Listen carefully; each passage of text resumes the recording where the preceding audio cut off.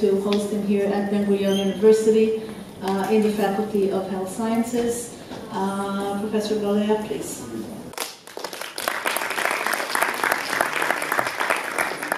I have the uh, benefit or the disadvantage of uh, not uh, being a psychologist. I'm an epidemiologist. I'm actually trained as a, primary care physician. So my uh, engagement with the world of PTSD has really been very much from the population health perspective. And uh, that has historically been how I think the contribution that I have uh, tried to make, which is how to think about the burden of trauma in population. So what I'm going to do is to try to give you an overview of how I think it's useful to think about trauma and its consequences and what that means for what we do to mitigate the impact of trauma and its consequences. And although my talk is about post-traumatic stress at the title, as you'll see, I'm going to use this more as an opportunity to talk about trauma more broadly. So as I jump in, I just want to acknowledge my colleague, uh, Dr. Karestan Koenen, who um, is a colleague which, who, with whom I've done a lot of this work. So I just want to acknowledge her right up front as being central to a lot of the work that I'm showing. So let me uh, plunge in. So I will start with why we do what we do. And I think uh, whenever we do scientific uh, talks and whenever we do our work in science, it's very easy to forget why we're doing what we're doing. And I think it's important to start this way, uh, even if it may seem a little bit um, obvious, because it helps focus the mind on the questions we want to be asking, let alone on the answers that we are finding. So what do I mean by this? At the end of the day, if you are in this room, since there's no obvious free food, you are here because you care about health and the health of populations. So what you care about is this. You care about dealing with issues like this. I'm going to show you some US uh, headlines. These are, um, these are extraordinary and uh, um, deeply depressing headlines. Nearly one in four, uh, five US women have been uh, sexually assaulted. One in 10 children suffer abuse. Um, sexual assault up in the military, something we've dealt with a lot in the US.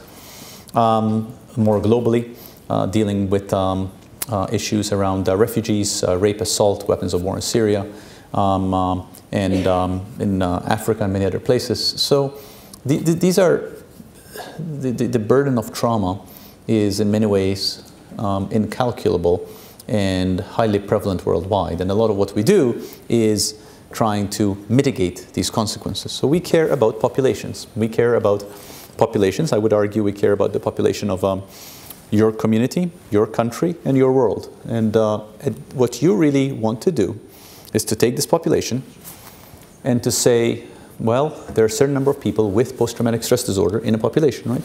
Those are the figures in blue. And what we'd like to do is to reduce the number of figures in blue with PTSD so that we actually have fewer people with PTSD in a population. And it's important to remember that that's what we're trying to do because that is in contrast with taking a population and caring only about a subset. So I'm going to come back to this at the end, but I wanted to start by making a pitch that if you're interested in trauma, interested in post-traumatic stress, interested in mental health and physical health consequences of trauma, one needs to keep in mind that we are interested in populations and how we can make populations better and healthier. So that's my first point. Now, let's move on to trauma. And uh, this is a, a, subject which is um, um, uh, quite uh, close, if not dear, to Israeli's heart. I realize that, which is in part why there are so many of you interested in this topic. Um, the trauma is highly common. And uh, in the Israeli context, whenever I speak uh, here, I always feel like I don't need to make this point, but uh, I thought it was helpful to also show some data. Um, uh, this is again a population, and uh, most studies worldwide suggest that about 90% of people in a population will experience a significant traumatic event at some point in their lives. 90%, anything that's experienced by 90% of people means everybody. And um, it's important to remember that because there is a misconception in the public that trauma is idiosyncratic, it's random, and worse, that it always happens to other people, never happens to you. So like, uh, like divorce, right? It happens to somebody else, not to you. But in fact, it's not true. In fact, they both happen to, to most people. Um, and when one thinks that trauma is ubiquitous, it changes how we approach it. And it, it changes what we might do, the science we might pose, the questions we might ask, and the interventions we might think about in terms of mitigating the consequences of trauma. Um, in high-risk populations, about one in two people uh, experience trauma over, over the course of a year, which is, if you think about it, very high.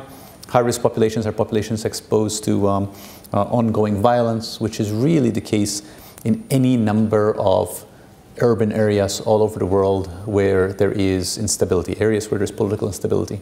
One in two people get uh, experience a trauma every year.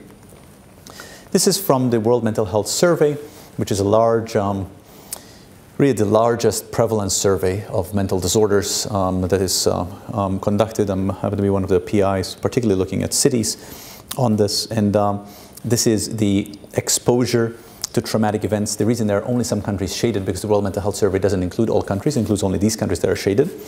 But the colors, the way to interpret this is the dark, the, I don't know what that is, the dark red means that more than 70% of the population is affected by trauma and the green is less than 55%, and the amber is in between. So what you see is most countries are in the red, which is what I told you about before. Um, uh, few countries are in the amber, and only a couple of countries are in the green. And the other point is not only that trauma is ubiquitous, not only that most people will experience a traumatic event, is that many people will experience more than one traumatic event in their life. So this is from the same World Mental Health Survey, and the colors say number of traumatic events people experience in their lifetime. So what you see here is, again, the dark is about four to five, and the amber is three to four, etc. And you see most countries are in the red and amber phase, or at least in the purple, which is more than two traumatic events in their life. So the message is, most people experience a traumatic event in their life, and those who do typically experience more than one traumatic event. So this is a high prevalence exposure. And it's something that, as I'm going to get to, affects all aspects of our health. It affects post traumatic stress disorder, yes, but it also affects many other aspects of mental health and physical health. So, before I talk about populations, I just want to make a detour about vulnerability. And um, one of the things that is most compelling about studying trauma for those of us in public health, for those of us who care about improving the health of populations, is that trauma disproportionately affects those who are vulnerable. And this manifests in different ways in different countries. Let me start here in Israel. This is from a study that I did a few years ago with colleagues here in Israel, and this is the prevalence of post-traumatic stress disorder um, in Israel. This is uh, Israel pre-67 borders, and looking at Israeli Jews, Israeli Arabs. And uh, this is after the, um, the second Intifada. And what we found in the study is that Arabs, Israeli Arabs, had three times the, the prevalence of post-traumatic stress than did Israeli, Israeli Jews. And um, we did a whole bunch of work to try to figure out why this was. And what you have here is a series of models. This is um, the original odds ratio comparing um, Arabs to Jews, which is about three, which means they're about 200% more likely. And then we took into account a whole bunch of variables and resulted in a 40% reduction, resulting in about a 90% greater likelihood. Now, if you read down here, you'll see that this, the, the persistent 90% greater likelihood of PTSD among Arab, uh, again, Arab Israelis compared to Jewish Israelis persists despite adjusting for sex, age, income, education, religion, direct exposure to trauma, threat from conflict, economic loss, psychosocial loss, traumatic growth, and social support. In other words, it persists despite the fact that we accounted for every variable that we can think of. So why is there such a difference? There is this difference probably because of deeply seated socioeconomic differences that ultimately affect every aspect of life. That Israeli Arabs are much more vulnerable than Israeli, Jews by way of a burden of ongoing adversity that ultimately manifests whenever you have a traumatic event. So that's a local example. Now let me show you an American example. This is um, um, in the United States, and uh, what you have here is uh, the prevalence of the traumatic event breaking up the US by white, um, non-Hispanic, black, Asian, and Hispanic. And what I want you to see is child maltreatment, and uh, if, you just, uh, if you just compare, just the, the easiest is compare Hispanic, black to white, more child maltreatment in minority groups, more muggings in the minority group, more domestic violence here. The only thing that's different is actually unwanted sex and rape, which is actually comparable in whites and Latinos. But in the US, we find disproportionate burden of traumatic events among minority groups, which in the US different countries are different. In the United States, race and ethnicity are inextricably linked with socioeconomic disadvantage, in that there is a very, very tight link between um, people of color, blacks or Latinos, and lower socioeconomic um, status. Um, another aspect of vulnerability is age. So this is the age at which most traumatic events happen.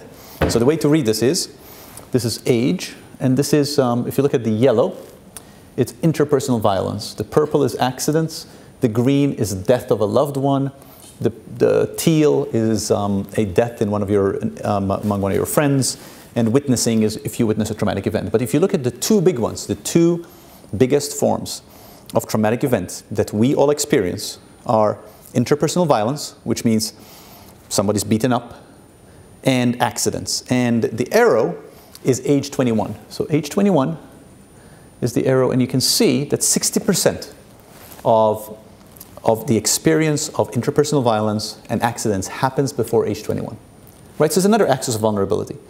When we think about trauma, again, if you, if you step outside yourself for a second, and you say, if you were to talk to your mom or grandma, and say, when do people experience trauma? In the, in the common discourse, we tend to think about trauma as happening to grown-ups. Well, it does, but actually, the majority of trauma tends to happen to the vulnerable who are children and young people, just like it happens to minorities in the United States, just like it happens to a group that is socioeconomically disadvantaged here in Israel. So third point, trauma and its consequences tends to happen more to vulnerable populations. Now let me move to the consequences of trauma and post-traumatic stress disorder. And um, I, I want to make the point that um, although my talk, as I said at the beginning, was about post-traumatic stress, the consequences of trauma are far broader than post-traumatic stress. And in fact, the consequences of post-traumatic stress itself are extend to a full range of physical illnesses. The reason this is important is because when we think about the consequences of trauma, we frequently ghettoize, to use an American term, trauma with the psychologists and the social workers, and as long as we deal with the psychological consequences of these events, we are going to be okay. It's not true. In fact, the consequences of trauma extend well beyond, well beyond mental health into all aspects of physical health. So let me show you some examples. So first of all, this is, uh, I realize there's a thing in the top right. Let's see if I can close that. There we go. That's cleaner. Um, what this is, is the global this burden of disability. So A is um, men and B is women. They're roughly the same. But just, just focus on the left just to make it easy, which is the men. And the way to read this is, um, this is age groups. This is how old people are. And the, the colors represent here, which is what we are losing uh, disability adjusted life years to. So for example, I want you to look at the red. You see the red, which is mental behavioral disorders. See, mental behavioral disorders emerge in the late childhood, which is over here, and early adulthood, in the, in the early 20s. You see the enormous burden? Much less in childhood, but they emerge here. If you look at the light blue, that's neonatal disorders. So it's disorders of, of uh, the first month of life, which is actually why it's over here. So that's how to read this. Um, but when you look at this, you'll notice that war and disaster, unintentional injuries, transport injuries, mental behavioral disorder, as I'm going to show you, respiratory disease, cardiovascular disease, and cancer all are related to trauma. And when you add all those up, you end up with a majority of the disability adjusted life years worldwide being linked to trauma. Even if you forget about the physical health uh, correlation, even if you forget about cardiovascular disease, respiratory disease, if you just count the consequences of war and disasters, unintentional injuries, transport injuries, mental behavioral disorders, you end up with a burden of disability adjusted life years that's bigger than anything else. In fact, putting this in context in terms of cost, I'm not sure how um, universities or uh, hospitals work in Israel, but in the United States, nobody pays attention to you until you mention cost, and all of a sudden everybody says, oh, now I'm interested. Um, um, so this is the most expensive medical conditions in the United States. And um, on the left is absolute expense, on the right it's relative expense relative to each other, but the two match one to one, so you can just look at the left, which is absolute. The most expensive medical conditions in the United States are heart conditions, and then cancer, and then trauma-related disorders, and then mental disorders. About 70% of those are linked to that. So if you add this and this, you'll see it's more expensive than heart conditions and cancer. Why is that? Trauma is prevalent, mental conditions are prevalent, and when one develops the consequence of trauma, those consequences last throughout a lifetime, right? Which makes for a lot of costs. So from a cost point of view, if all you care about is cost, if you don't care about disability adjusted life year, if you don't care about population health, you just care about cost, trauma and its consequences have an extraordinary cost throughout our population. Uh, I don't know if uh, anybody knows Israeli numbers, but I see no reason why it would be different than this. Now, let me um, show you a couple of papers that um, I've been involved in that look at how trauma and PTSD are associated with other uh, health conditions. So this is uh, looking at body mass index in the United States. As everybody knows, in the United States we have an obesity epidemic in that we've doubled our obesity rate in the past uh, 25, 30 years. And what this looks at is 1989 uh, all the way to 2005. So what you see here, you see everybody's getting fatter. There are more, more people getting fatter, which is fine. You know that. But, well, it's not fine, but it is what it is for the purpose of the talk. What I want you to look at is um, people without trauma, right here. Uh, people with trauma but no PTSD symptoms. People with trauma and one to three PTSD symptoms. And people with trauma and four plus PTSD symptoms, right? So you have this layering of the consequence of traumatic events. You have trauma, you have trauma and PTSD, you have trauma and PTSD with a lot of symptoms, and trauma PTSD with more symptoms. And clearly, you have higher body mass index. Every year, consistently, every year is the same pattern, and it's all going up, as is the national trend.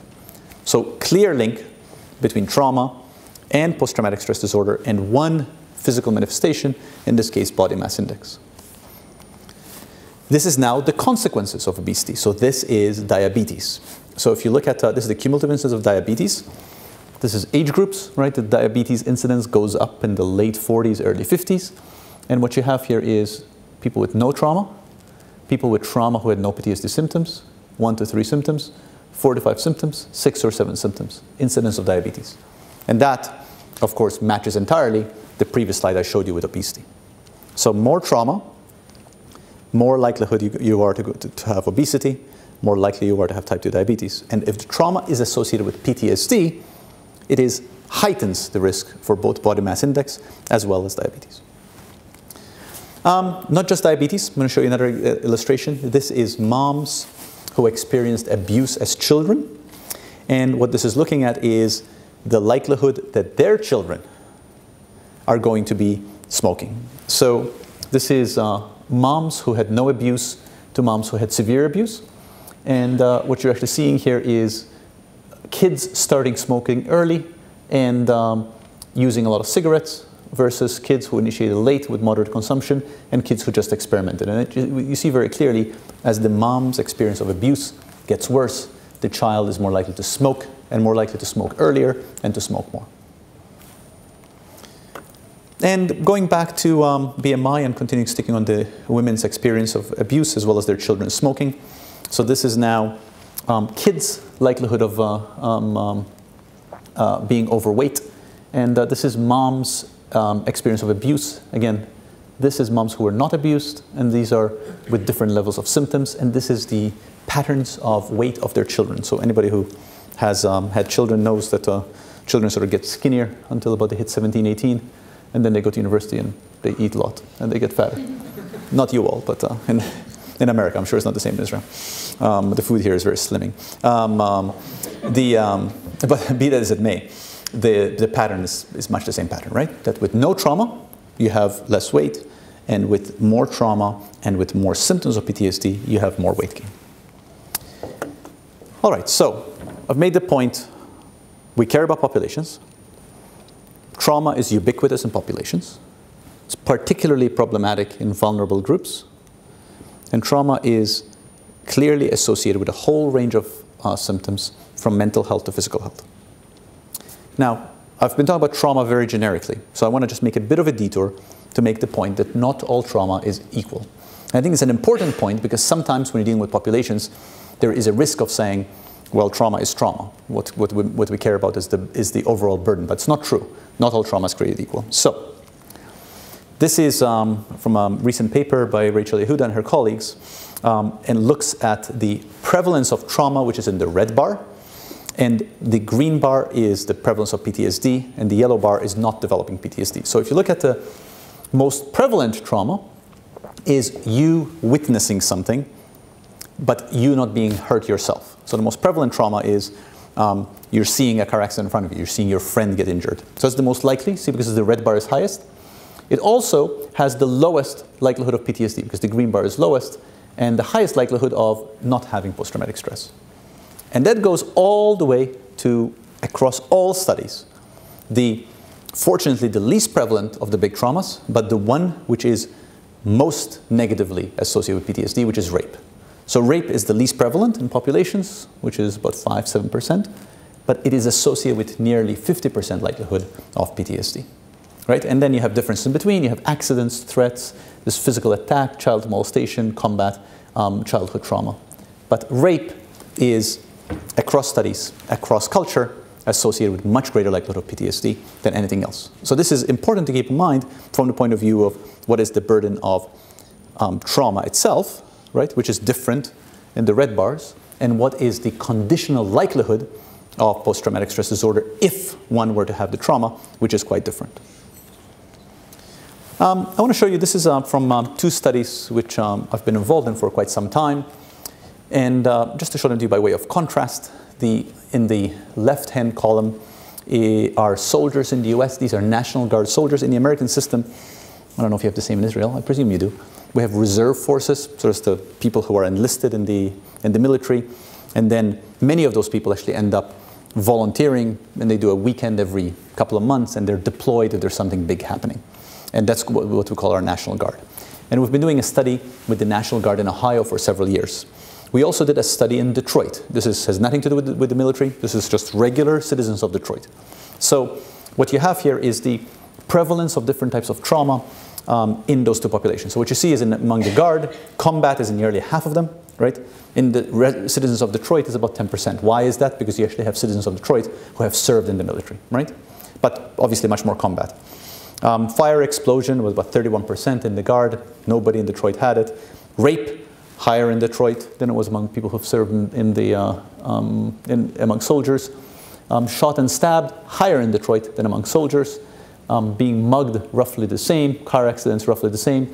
Actually, a lot of these, what you see, is roughly the same. Soldiers were more likely to witness death or human suffering. Yes? Uh, no, they're not all men. No, no, no, about 10% are women. And in Detroit, it's, it's a community center? Mm-hmm. Detroit Community is about 50 50. Yeah. Um, um, oh, you're asking because of the rape? Yeah. Um, uh, no, no, it's, uh, uh, in rape, it's not all in women um, uh, in, in, in this sample, um, in, in this particular sample. So that's, I'm showing you this just to compare the burden of trauma in the two populations. So where's PTSD higher? Who thinks it's in the military? Who thinks it's in Detroit? Who doesn't think? Um, uh, the burden is actually twice as high in Detroit almost. Detroit is uh, 16%, and um, in the military it's about 9%. Um, 9% is actually not that much higher than the baseline, um, what you expect in the United States in, in, in lifetime.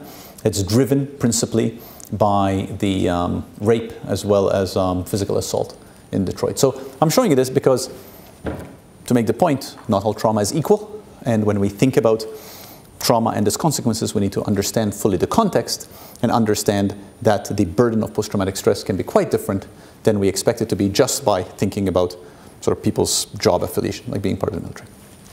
Um, the other thing about the military, which I want to make in the context here of not all trauma being created equal, is in the US, um, and I don't know if there, this has been a discussion here at all, you can tell me afterwards, but um, there's been quite a bit of um, discussion in the past few years about military sexual assault and military sexual violence. And uh, it's made the papers, as a result there have been congressional hearings and the usual things that happen when something hits the press. And we looked at this among um, um, two samples. One is the Ohio sample that I showed you as well, but as well as another national sample of reservists and National Guard members, which are two different types of reserve forces in the US. They operate slightly differently. But what we looked at was what is the problem of sexual violence? And we documented problem of sexual violence. And overall, so this is women, this is men. This goes to your, to your point that it's not, all, it's not only women. Men have a prevalence, much lower. Men is about 5%, while women is about 30, 35%. However, what we're looking at here is when does the sexual violence happen? And in fact, the bulk, the large majority of the sexual violence that women are experiencing is not during deployment, but in the rest of their life. So this is lifetime sexual violence, this is deployment sexual violence. So in the context of the national conversation in the United States about military sexual violence, military sexual assault, much of the sexual assault that is experienced among military members actually is linked to their civilian life, which goes back to my Detroit military example. So the point here is not all trauma is equal, and we tend to make cognitive errors in some of our simplifications about when and who experiences traumatic events, and trauma in general populations is as burdensome, if not more burdensome, than trauma in specialized populations like military populations. This perhaps might be the most alarming part, at least the most alarming for anybody who has children or anybody who's thinking of having children, um, um, that um, the effect of trauma extends beyond generations. And uh, th there has been a, a, line of thinking about this for quite some time. Some of the earliest work on this, which was most, um, I think, persuasive, was actually done among Holocaust survivors. And uh, that work was good. It was typically small samples. Uh, lately, um, some groups have been able to look at bigger samples to really look at what's, what, what does it mean to have trauma in one generation passed on to the next. And by the way, almost all this work is all about moms. It's all about how moms are the ones who are transmitting the effect of trauma beyond generations. Dads, that seemed to not to matter very much, but that's probably true in many other aspects of life. But uh, in, in, this context, it's mostly about moms. But we can talk about dads afterwards. They matter in some other ways, but not centrally. Um, um, so this is from a study which um, um, um my colleagues had done looking at um, whether moms had post-traumatic stress disorder and their children's likelihood of being exposed to a traumatic event. And the way to read this graph is as follows. This is whether or not mom had any PTSD symptoms, all the way to having six or seven symptoms, okay? And these bars are, if you look at the light bar, the child never experiences a traumatic event, all the way to the child experiences five or more traumatic events. And what I want you to see here is this. As you go from left to right, which means the mom has more post-traumatic stress, there are more children who have more events, right? So as moms, when you have sicker moms, their kids are more likely to experience a traumatic event. Now, you have to stop and think about that, right? Because why should the mom having PTSD have anything to do with the child's experience? Well, when you think about it, there are many reasons why that may be the case. There are child rearing patterns, there's greater social vulnerability, child's greater exposure to risky behavior, plausibly all of which is linked to parenting patterns and the health of the mother. Now, okay, so mom PTSD, child trauma, but what about the child's PTSD? Does the mom's experience affect what's happening to the child? So this is from a, a parallel paper to this. On the bottom again, you have mom's PTSD symptoms. And what you have now is children's symptoms of PTSD if the child had a traumatic event. Okay, so if the child had a traumatic event on the previous slide, what's the likelihood that the child has PTSD symptoms? And again, same schema, light color to dark color, moms from no PTSD to more PTSD, and what you see is from left to right, you get more and more dark colors. So as the moms have more PTSD, you have greater likelihood of PTSD in the children. Why is this? Same explanations I gave you before, probably also some molecular explanations. Probably there's some epigenetics going on where the exposure to traumatic event is resulting in changing of uh, genetic transcription, which results in a changing phenotype among the children. That's in the US. Here's a study that uh, we did in uh, Liberia, Liberia, a country in uh, West Africa. Um, unfortunately, always in the press for bad things happening. Um, we did the study in uh, Nimba County, which is in northeast Liberia. This is a map of Nimba County. And um, Liberia, for those of you who remember, had uh, a civil war about 25 years ago. It was started by Charles Taylor and the People's uh, and Lord's Liberation Army, entered Liberia from Cote d'Ivoire over here, and they essentially, Uh, literally raped and pillaged their way across Nimba County. These are what these are are historical dates. So these are battles that happened this way, and then kept going all the way down to Monrovia, which is somewhere down here. And Nimba County, after the initial few years of fighting, was actually peaceful during the Civil War. The Civil War was not in Nimba County, it was, it was around Monrovia, around the capital of Liberia. So this fighting happened almost 25 years ago. Okay? And what we did was we went in and did a population-based study a few years ago of Nimba County. And we asked the question, could we detect 20 years later a path of trauma? Could we detect a, the consequences of this fighting in the 1990s again in 2010? What we did is we did a population representative sample of the entire Nimba County, and I'm going to show you the burden of PTSD in different villages in Nimba County. And what I'm doing is the villages which had more PTSD, I'm going to make big. The villages which had less PTSD, I'm going to make small. So there, here's the map of burden of PTSD. And what you see is, so these are the small villages, these are the big, and you see the same pattern as you had with the traumatic events. Now, this study was done 20 years later. We did a study of adults, 18 years or older. So of course, when you quickly do the math, you realize that there were many people in the study who were children. Some weren't even born when the original trauma happened. But here you have 20 years later, a burden of PTSD etched in the population um, um, many, many years after the initial trauma happened. Why is that? There's many reasons for it. Trauma has disrupted the local economy, has disrupted social networks, has disrupted uh, economic function, has disrupted social bonds, resulted in increased violence, all of which manifests in a burden of violence, burden of trauma, and more PTSD today. Here's one more study from Africa. This was in Ethiopia, in southwest Ethiopia, an area which had a fair bit of conflict. And um, this is a number of traumatic events experienced. This particular one looks at depression. And you have, um, um, this is uh, likelihood of depression among women, likelihood of depression among men. Women are more likely to be depressed than men, given a certain number of traumatic events. That's not a surprise. We know that's true for post-traumatic stress, any number of uh, actually psychological disorders, which we can talk about why that is, very complicated reasons why that is. Um, but more trauma, more depression. But then what I want to show you is this. This is a, an objective assessment of development of the mom's children. So this is not self-report. We're not asking the mom, how is your child doing? We are observing the child. And these are children's ages. What you see is, first of all, all these bars are going up, right? As the child gets older, their development goes up. That's fine, it's what you expect. But then we split the children into two.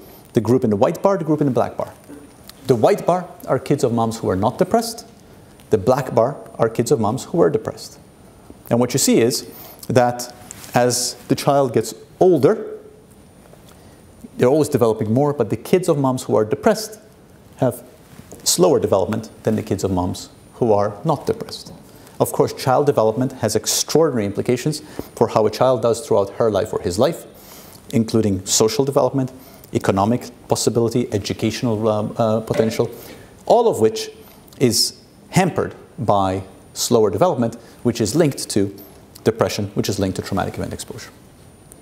So this message is the consequences of traumatic events, unfortunately, extend beyond generations. And it's not a simple matter of saying there is a traumatic event that happens now, it's affecting us now, but it also influences everything else about you mental health, physical health, and for moms in particular, the health of their children. So now let me, I'm slowly circling back to where I started with populations. So I'm going to move on to this uh, question of um, trauma exposure. And I, I, would like to argue that most trauma exposure should be preventable. So let me show you what causes trauma exposure in the United States. Um, uh, so what you have here is violence shared uh, over here accidents and intimate partner sexual violence and interpersonal violence are 14, 37, and 8%, which is more than 50%. More than 50% of violence are intimate partner violence, sexual violence, and injuries. Or another way of looking at it more than 50% of violence is intimate partner violence, interpersonal violence, and uh, um, bodily harm being caused by one person to another.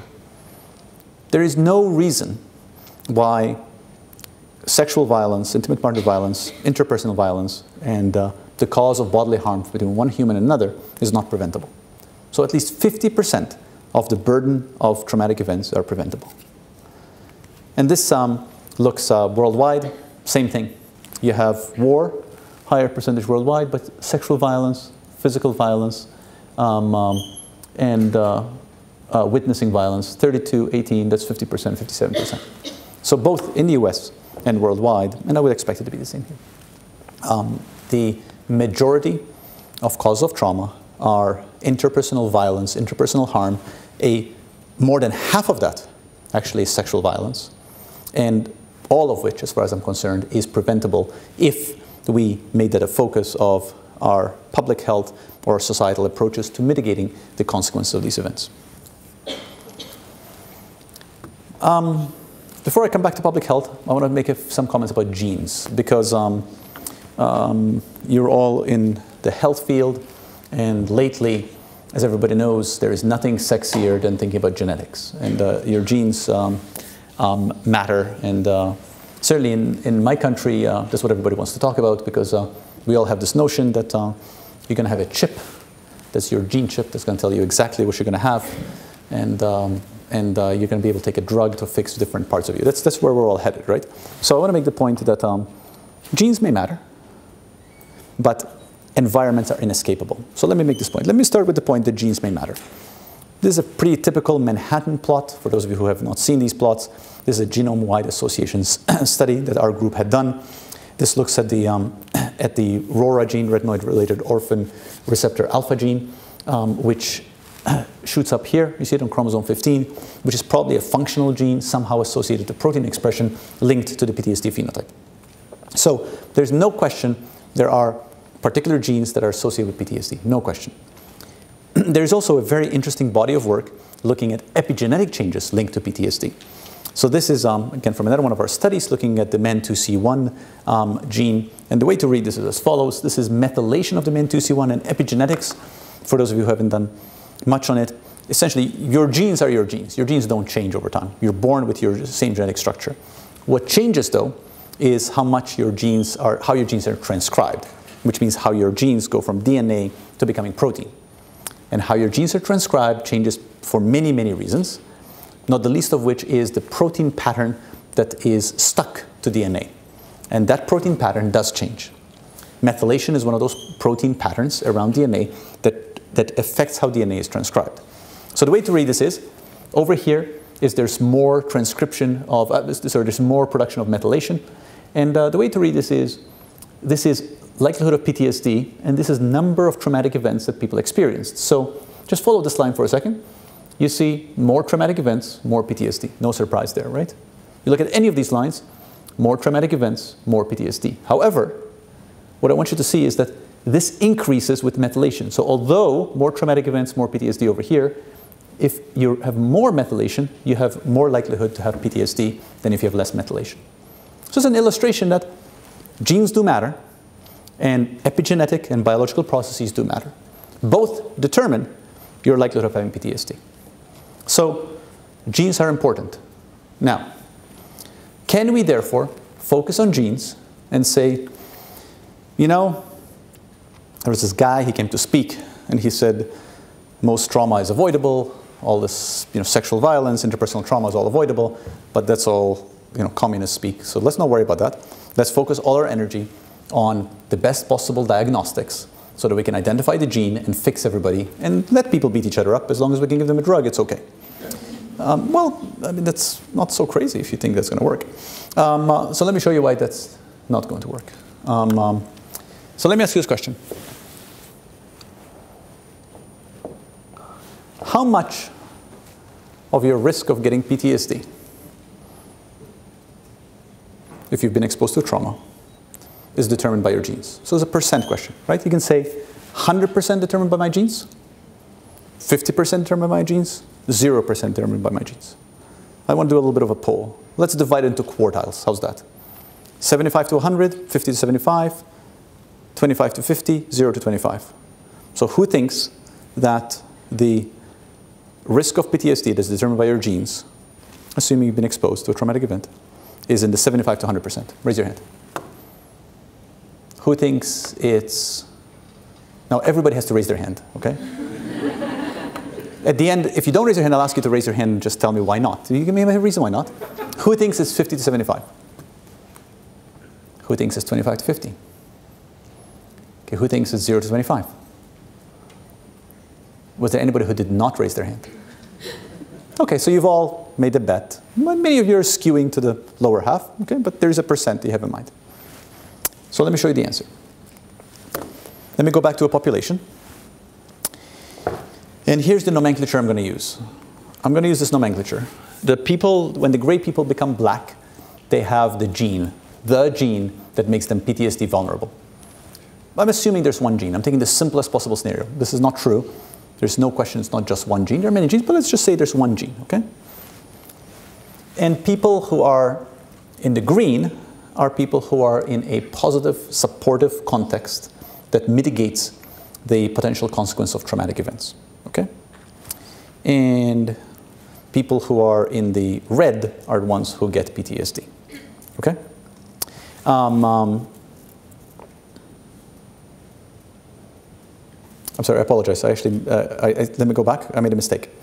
Uh, I made a mistake here. The people in the green are people who are in an environment that's a negative environment that's going to make for PTSD. Okay, so I apologize. So black is the gene of PTSD. Green means you're in a, let's say, in a disrupted, disruptive environment with high levels of interpersonal violence where you don't have efforts being made to mitigate the consequences of trauma. And if you have red, it means you get PTSD. And the formula here is very simple if you get, if you have the gene which is black and the environment which is green, you're going to become red, PTSD, okay? To make it more realistic, I'm going to throw in some random reds because you know, sometimes we don't understand the full phenotype, and there are some people who are going to develop PTSD. We don't, they don't quite have the gene, maybe they're not in the wrong environment, but they still get PTSD. That's all. So that's all I'm doing in this simulation. And you can do the simulation at home, you can pull out pen and paper, you can do it right now. It's very simple. So here's the first scenario. First scenario, you have a highly negative environment, say a poor environment, so a lot of conflict going on, socioeconomic adversity. And here are the people with the gene. Those are in the black. I've made them dots just so you can see the black and the green. Okay? I have some red people who are random PTSD, but now I'm going to convert the black plus green to give them PTSD. So black plus green becomes red. Okay? Now, what's the percent of PTSD, in this case, that's linked to my genes? Well, you can count that, but you, you can look carefully. Do you know, do you see how everybody who is red was actually in the green, um, uh, already had the, had the gene? Notice how everybody who was red had the, had the black, with the exception of the random people? So if you do the math, the percent of PTSD given the gene is about 300, uh, sorry, the, the, the relative risk is about 334, and the percent is about 1. Because everybody who developed PTSD here had the gene. Now, let me show you scenario two. I'm going to keep the genes exactly the same. I'm not going to touch the genes, but I'm going to change the environment. Scenario two. See this? Same gene pattern, same black, same random PTSD, but the bad environment is only this part now.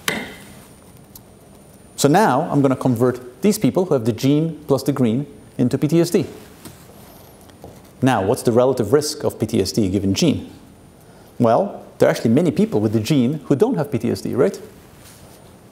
So the relative risk is actually only 1.7, and only about 40% of the PTSD is due to the gene. Notice, I did not change the gene, didn't change the random cases, I didn't change any of my assumptions. was the only thing I changed? The environment. So now let me go back to my question. What percent of your likelihood of PTSD is determined by your genes? Who thinks it's, 50 to, it's 75 to 100? Who thinks it's 50 to 75? Who thinks it's 25 to 50? Who thinks it's 0 to 25? Well, the answer is it depends. Depends on your environment. Because you cannot answer that question without saying, what's the environment? Right? Because I can show you an illustration where it's actually 100%.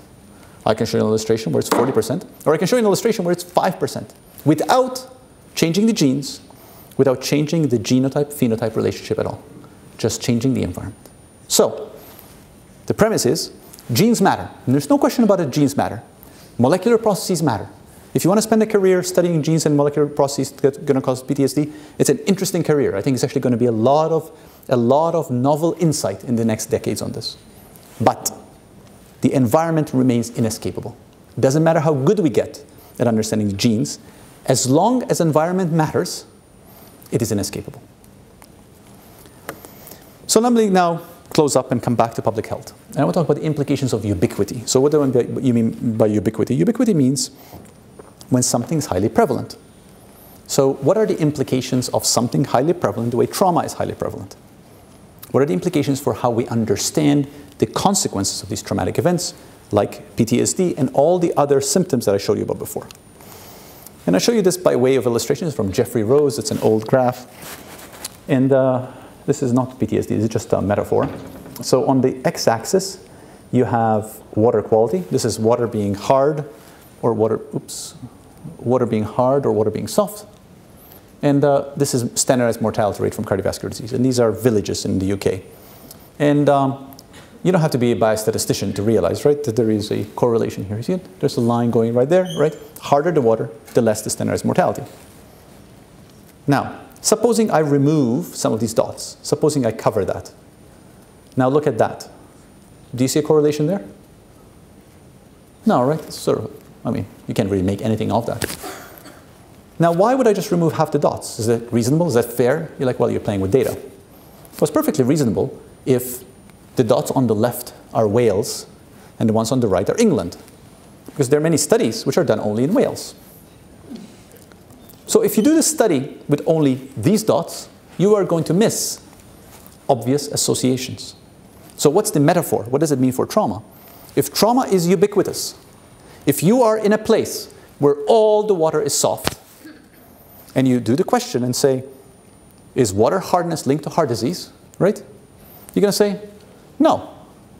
But if all of a sudden you realize that if you look at the range of water hardness, you're going to see an association, you're like, wow, I've missed that. It's the same with trauma. You actually don't know what the, how healthier a world without trauma would be because trauma is ubiquitous around you. We are here, we are dwelling here and we don't know what this would look like if we're to extend the curve because we are in a world where there is 90% of people experience traumatic event, where 40% of, there is 40% prevalence of sexual assault. I mean, these are extraordinarily high, these numbers. And we don't know how much better the world would be did we not have those, same as here. So that's the implication of ubiquity. And um, it's my favorite ubiquity metaphor. This is uh, my goldfish. Um, uh, you know, the goldfish can have its own independent thought. It can be a goldfish artiste. And, uh, but it doesn't matter how much a goldfish thinks. Doesn't matter what a goldfish does. Everything the goldfish does is affected by the water in the bowl, right? If the water is dirty, it's going to affect everything the goldfish eats, thinks, drinks, everything. And that's what a ubiquitous force does for us. And if we don't realize that, we run the risk of looking at data in the way you are all looking at that. And now for those of you who are semi-asleep, you're like just jolting, like, whoa, what is that? What did I miss? Anybody know what that is? Nose. That's just part of that picture. Um, right, so you're looking at only a narrow part of the picture. So let me conclude by coming back to the health of populations. So I started off by saying we care about the health of populations, and let me conclude by, by how we may think about mitigating the consequences of trauma. Um, let's start go back to populations. So some people are highly exposed to traumatic events. Right? I showed you, in fact, that uh, a large proportion of people have two, three, four traumatic events. So supposing you take the world and you say, okay, the blue people aren't exposed, the red people are exposed, right? And you know that some of these people are going to get post-traumatic stress or something else that's linked to traumatic event exposure. So the excess is the post-traumatic stress. But here's the problem. The problem is this. Are all the X's on the reds? No, right? You see, there are some X's that are on the blue. See here?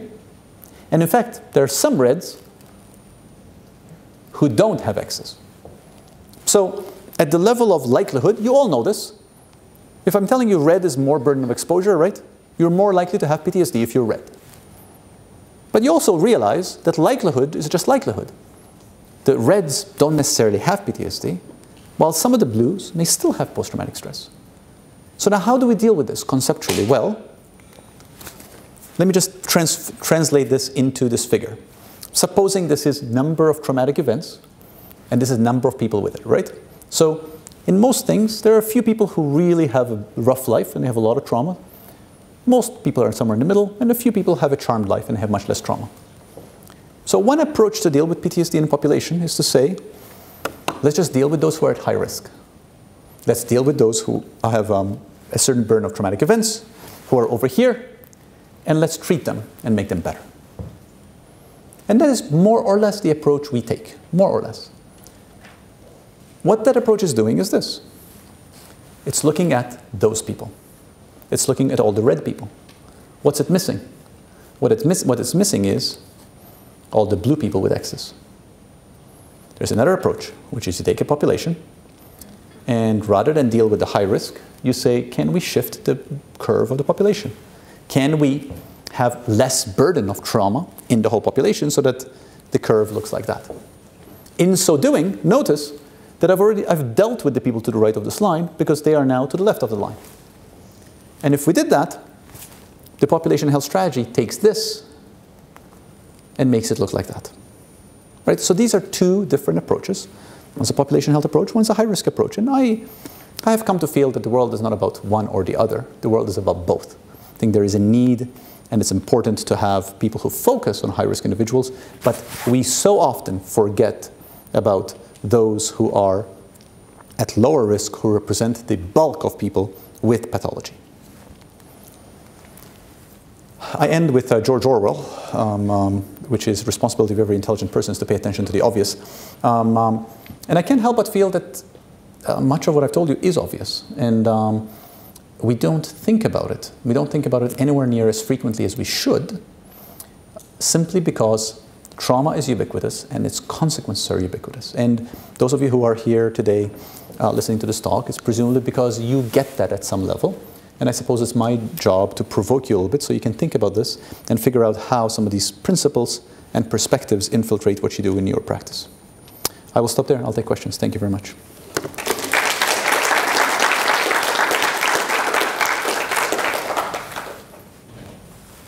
Yes?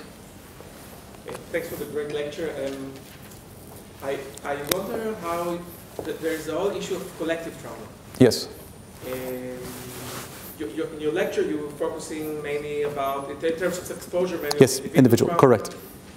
Uh, we discussed in the morning in another yeah. context, collective trauma. You mentioned Arabs, for example. Yeah. So we have uh, the whole history of the United States. You have slavery, for example, yeah. etc. So I wonder. Of course, it fits very well with your perspective, but if yeah. you can tell us sure, sure. More, yeah. what you think about it. Yeah, no, and that's um, in some respects it's a whole other talk. I think it's a very interesting question. Um, um,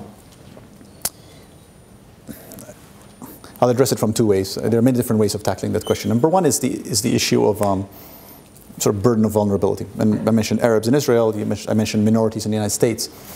Um, I mean, there are many, many parallels here, right? But you're dealing with a population with just a burden of vulnerability that works against the population on all aspects of health promotion.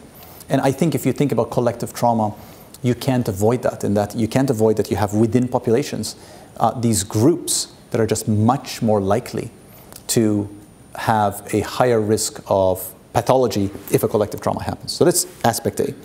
Aspect B is that a collective or a shared mass traumatic event also frays a lot of aspects of a community that could be protective, that could mitigate against the consequences of traumatic events. So I showed you that a little bit in the Liberia slides. And um, I think the Liberia slides, and, and, I have sort of a whole other presentation which we can get into on that, um, illustrate this notion that when you have a collective trauma, what happens is you are loosening and fraying the bonds of social cohesion, informal social control, norms for healthy behavior that ultimately shape and moderate the how people interact with each other. And all of that becomes greater burden of interpersonal violence and greater burden of vulnerability to trauma if you've had it happen. I guess the third aspect, just so I don't forget this, is history. And um, we did a study after the earthquake in Haiti in, two, in uh, 2010. And um, one of the papers we did on this looked at what's the likelihood of having post-traumatic stress if you were buried in the rubble. Now, I'm claustrophobic, so I can imagine no fate worse than being like buried in rubble. It's pretty bad, right? It's a, it's a traumatic event goes. I think being buried in rubble is pretty bad. So we found a lot of people who actually had absolutely no symptoms after being buried in rubble. And then we looked deeper as to why is that.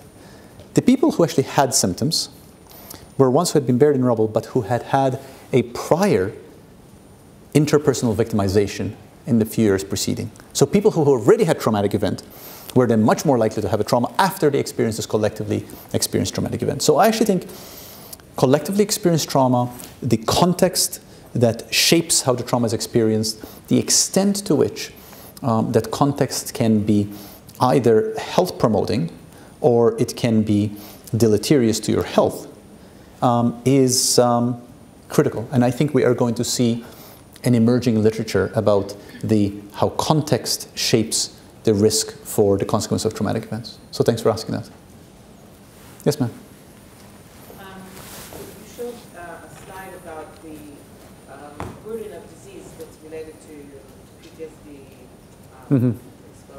Yes. That's from series of studies. Mhm. And I'm curious why we don't see um, something related to untoward reproductive events as being related to PTSD.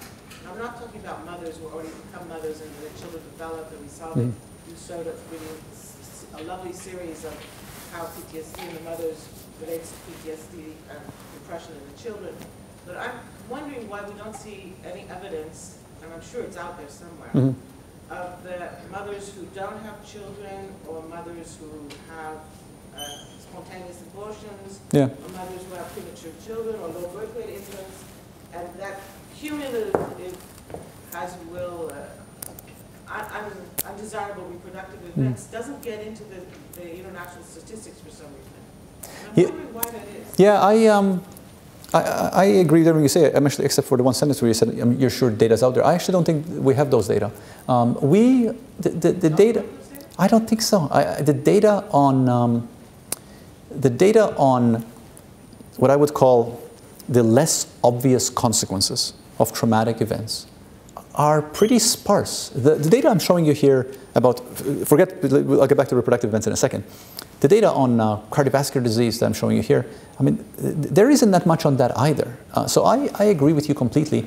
I'll, I'll give you an example in the, in the US, in, in my context.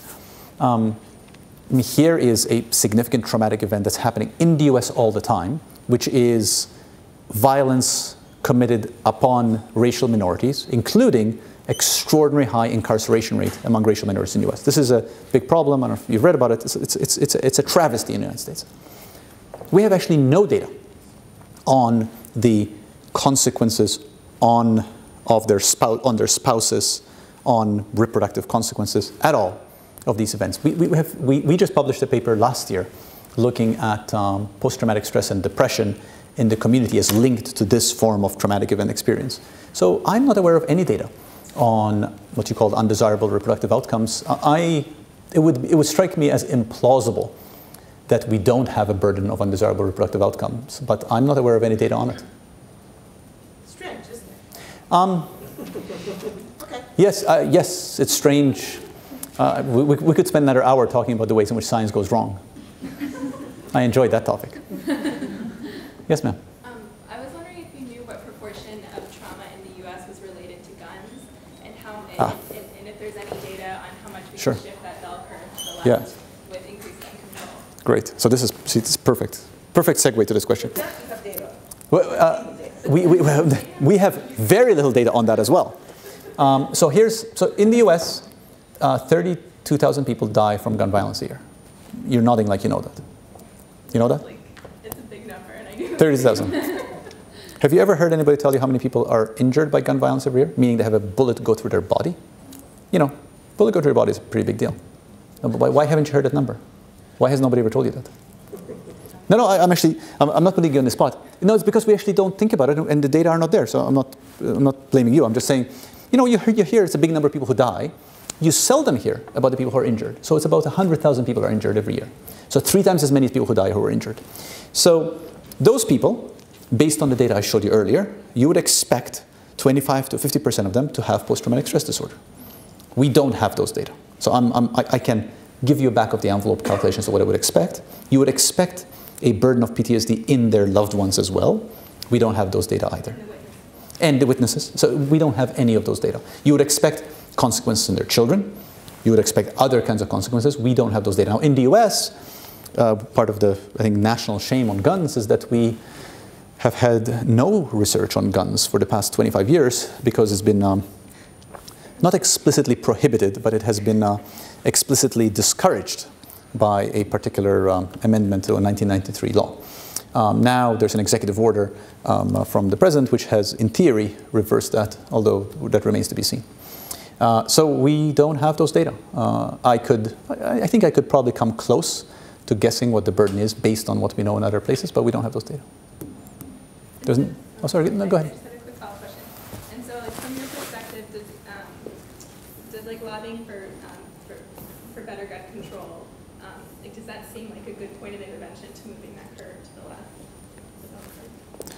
I, um, I don't know that there's any other way of shifting the curve to the left. It's very clear. The more guns there are, the more people are going to die from guns.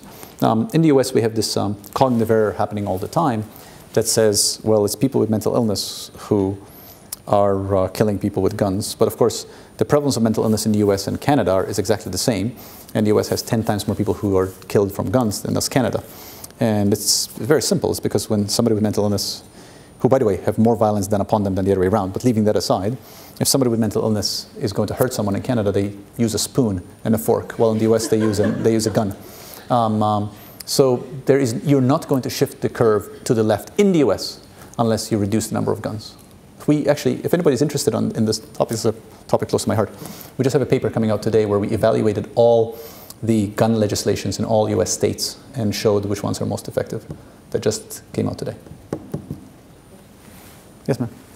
I wanted to ask, maybe in continuation of the guns, Yeah. I was interested to see that the, uh, the army service Mhm. was relatively low in, Yes. in its traumatic phase, and I Yeah. assumed it would be. And I wondered if you think that's because of the collective context that you were talking about before, or Yeah, it's a, it's a very good question. I think, um, I think it is, it is that. You always have to remember the context as to which the army in the US at a particular point in time, and, and I don't know enough about sort of the IDF and Israel, what people are exposed to. Um, the reality is that um, 43% of that sample were exposed to combat. A much smaller proportion were exposed to a severe traumatic event during combat, right? So it's a large group when you actually whittle it down, the number of people who actually are exposed to combat is quite a bit lower. You have this protective community. And frankly, they're not out there being mugged in urban areas. And many people who are in the army come from poor, in the US, because we, don't- we don't have um, conscription the way you do, right? One of, the, one of the big downsides of that is that the people who serve in the military in the US are people who are poor and come from socioeconomic disadvantage, which results in people who actually the counterfactual for them is a highly traumatizing counterfactual to begin with. So I think there are many reasons why uh, serving in the military in the US, with, with the exception of subgroups, of course, who are really exposed to severe traumatic events, is on the whole protective than being out in a more dangerous civilian environment. Sir. Is there any correlation or connection between the number of PTSD symptoms and how well you remember the trauma? It's a good question. I, um, I do not know the answer to the question. There, there might be. I, I, I don't know. Somebody else in the room might know. I see a head nodding. It, apparently there is. I don't know those data. Maybe you want to answer? Okay, one of the three conditions for PTSD, one of them is that you have trouble remembering that you, you have, uh, you know, you have um, intrusion, you have avoidance, and you have, uh, you know, the startle reaction. Those are the three typical things. So one major uh, contributing factor to getting a PTSD diagnosis is the fact that you avoid it and you don't think about it, you don't remember, and you don't want to remember the things that are traumatic. But, that's not what you're asking. You're asking, What was that? is that, what- that's, not, that's not what I understood your question to be. My question is whether you remember better Yeah. the trauma, will you, will you have more that right?